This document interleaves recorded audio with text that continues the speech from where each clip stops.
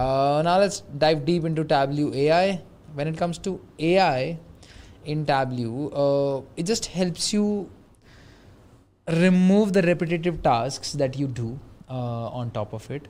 It gives you actionable insights. It gives you notifications of the data that you might not be looking into, but but but that is something that might be very helpful for you. And also, it can help you generate the right kind of data on simple prompts. Right? That's exactly what it does. Uh, so if you'll write down, I want to understand which salesperson is making the most of sales in North American region and is less than two years of experience. So you'll not have to create all of the things or you'll have to create the those uh, data sets and stuff like that. It'll help you do that and it'll give you the insight into it.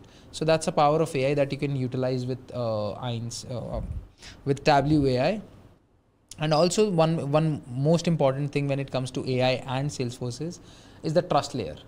Uh, why trust layer? Because it's it just masks the data that it takes and uh, so see Salesforce is running onto a multi-tenant environment and when it is running on a multi-tenant environment everybody is sharing the resources that is uh, that it is providing out there when everybody is sharing the resources uh, how and, and, and ai just utilizes the previous information which is fed to it uh, to provide insights to other customers as well so the same ai is serving let's say uh, a business and b business what are the chances of this ai not providing a's insights to b or something something related to a's data to b uh, there are huge chances, right? Because this AI stores the information that is provided to it, uh, to it as a prompt as well.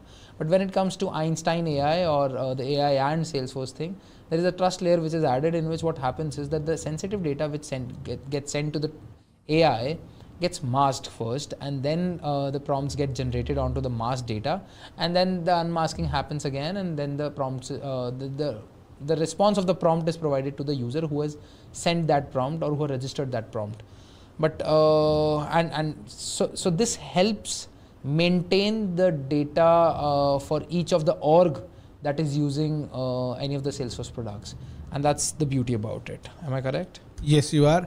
And one thing I would like to highlight so, for Einstein Trust Layer, you can go back to our previous webinar way yes. back in September. We discussed a lot about it, so you can look back and have a look at it.